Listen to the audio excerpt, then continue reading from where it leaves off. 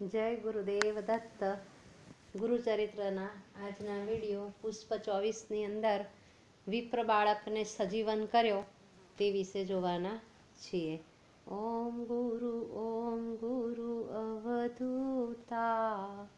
તુહી ઓમ તુહી ઓમ શ્રી દત્તા.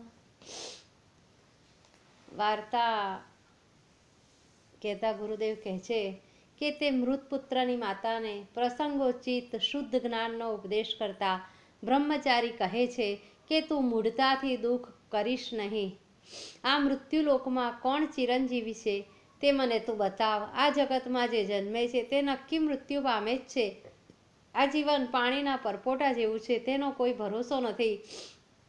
પંચમહાભૂતો એકત્રિત થવાથી થયેલી આકૃતિ એટલે જ આ શરીર.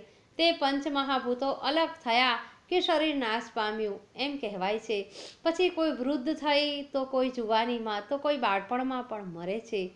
માયાના પાશમાં ફસાયેલા લોકો ભ્રાંતિથી આ પાંચ મહાભૂતોના ગુણોથી ઉત્પન્ન થયેલા દેહને તે જ હું છું એમ માને છે.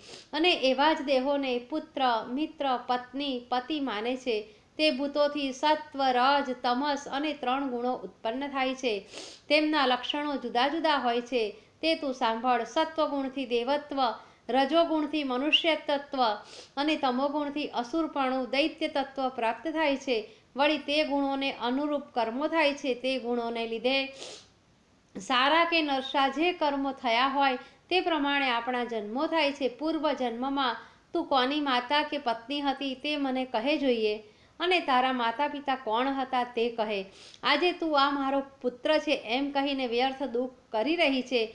માટે સમજીને મળદું ત્યજી દે અને અગ્નિદાહ કરવા સોંપી દે. તે સ્ત્રીએ ગુરુને કહ્યું કે, હે સ્વામી, તમે કહો છો, પ્રારબ્ધ પ્રમાણ છે, તો પછી શ્રીહરિની ભક્તિ શા માટે કરવી જોઈએ? પહેલેથી જ અમે ભાગ્યહીન હતા, તે માટે તો અમે શ્રી ગુરુના શરણે ગયા.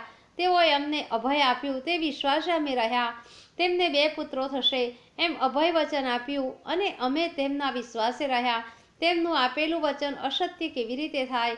મેં તેમના પર વિશ્વાસ રાખ્યો. શ્રદ્ધાથી તેમના કહેવા પ્રમાણે વ્રતનું આચરણ કર્યું છે. તો પછી,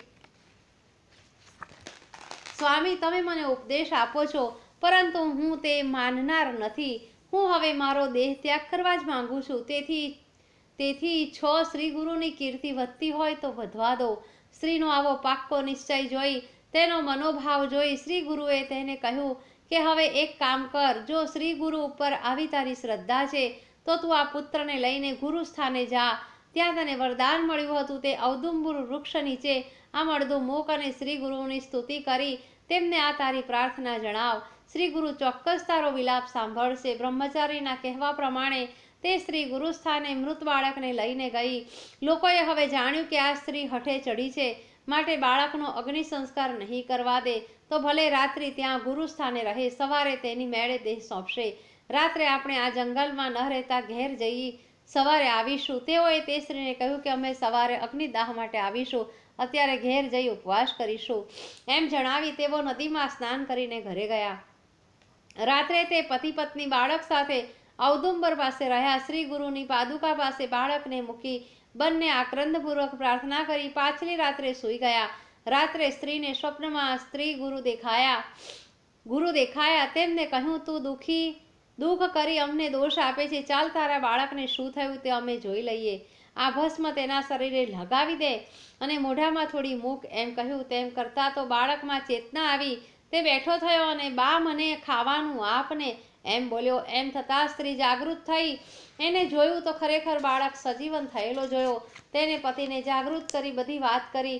તો બંને નવાઈ પામ્યા. તેઓએ ઔદુંબરની પ્રદક્ષિણાઓ કરી સ્તુતિને સ્તોત્રો ગાયા અને પાદુકાઓને પાણીથી સ્નાન કરાવી તેમને વંદના કરી. અમારા અપરાધ ક્ષમા કરો અમે નિષ્ઠુર બની તમને દોષ વચનો કહ્યા તે બદલ અમને માફ કરો. સવારે લોકો આવ્યા તો આ બનેલો પ્રસંગ સાંભળી આનંદોત્સવ થયો શ્રી ગુરુનો જય જયકાર થયો બોલો શ્રી સદગુરુ દેવ કી જય